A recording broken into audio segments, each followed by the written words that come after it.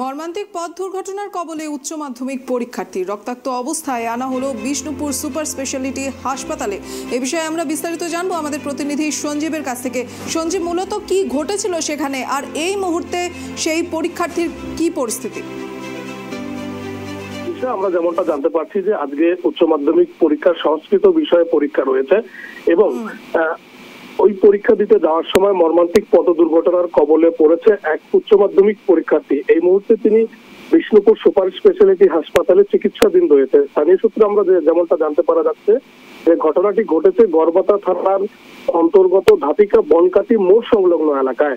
রাজদীপ ঘোষ নামে ওই উচ্চ মাধ্যমিক পরীক্ষার্থী, তিনি নিজেই মোটর বাইক চালিয়ে গড়বাতা হাই স্কুলে পরীক্ষা দিতে যাচ্ছিলেন। তিনি ধাপিকা হাই স্কুলের ছাত্র এবং তার পরীক্ষা পড়েছিল গড়বেতা হাই স্কুলে এবং পরীক্ষা দিতে যাওয়ার সময় নিজেই যেহেতু মোটরসাইকেল চালাচ্ছিলেন তখন ধাপিকা বনকাটি মোড় সংলগ্ন এলাকায় একটি পিক আপ ভ্যান তাকে সামনের দিক থেকে ধাক্কা মারে এবং এই ঘটনায় গুরুতর আহত হয় ওই উচ্চ মাধ্যমিক পরীক্ষার্থী। তড়িগুড়ি স্থানীয় বাসিন্দারা তাকে উদ্ধার করে বিষ্ণুপুর সুপার স্পেশালিটি হাসপাতালে নিয়ে আসে চিকিৎসার জন্য। এই মুহূর্তে উচ্চ মাধ্যমিক পরীক্ষার্থী বিষ্ণুপুর সুপার স্পেশালিটি হাসপাতালে চিকিৎসাধীন রয়েছেন দিশা। তো সঞ্জীব যে পরীক্ষার্থী আহত হয়েছেন তার পরীক্ষার কি হবে? সে বিষয়ে কোনো রকমের কোনো কথা বলা হয়েছে?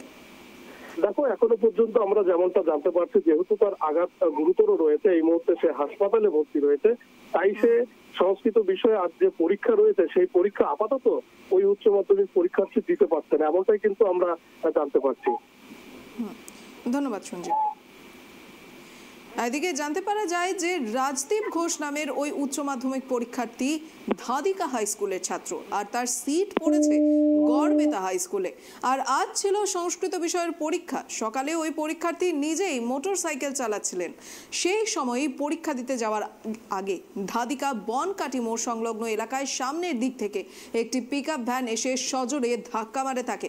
ঘটনায় গুরুতর আহত হয় ওই পরীক্ষার্থী। তড়িঘড়ি তাকে নিয়ে আসা হয় বিষ্ণুপুর সুপার স্পেশালিটি হাসপাতালে। বর্তমানে সেখানেই চিকিৎসাধীন রয়েছে আহত সেই ছাত্র।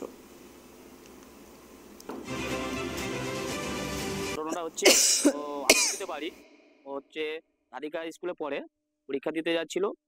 ও গড়বেতা সেন্টার পড়েছে তো সেই সময় ওই পোলটাতে আমাদের যে বনকাটি চাপার পোল আছে ওই পোলটাতে একটা পিক আপ ভ্যান এসে পিক আপ ভ্যানের সাথে সামনাসামনি হয়ে অ্যাক্সিডেন্ট হয়। মোটরসাইকেল হ্যাঁ মোটরসাইকেলে সেই পরীক্ষা দিতে যাচ্ছিল। তো পিক আপ ভ্যানটা আসে। পিক আপ ভ্যানটা এসে ওখানে ওই সামনাসামনি সংঘর্ষ হয়। তারপর পিক আপ ভ্যান ছুটে পালিয়ে যাওয়ার চেষ্টা করে ধরা হয়েছে পিক আপ ভ্যানটাকে তো যাই হোক এই বিষ্ণুপুর হাসপাতালে নিয়ে আসা হয়েছে রুগীকে। পরিস্থিতি এখন একটু খারাপের দিকে আছে। মুখে খুব আঘাত পেয়েছে মুখে একদিকে আহ, অবস্থা খুব খারাপ।